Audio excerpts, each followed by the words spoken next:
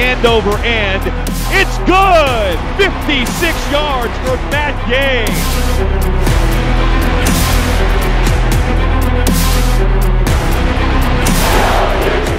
Goes toward the corner. It's caught. End zone. Touchdown. Touchdown, Darren Carrington.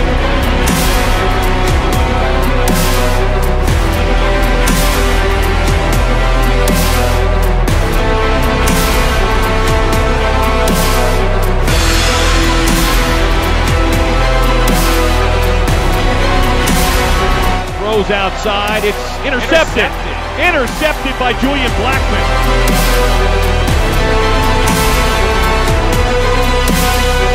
All right, now the offensive board now is finished. Okay, every man, every play, everybody do their job.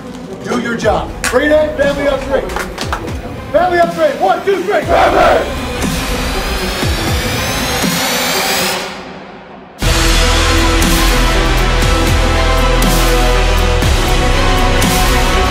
That's a hat trick for Carrington, and Utah's up 43 16.